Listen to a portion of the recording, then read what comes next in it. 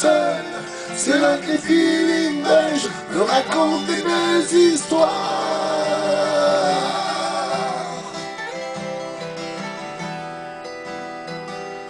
Je dois ressembler à une mouche là.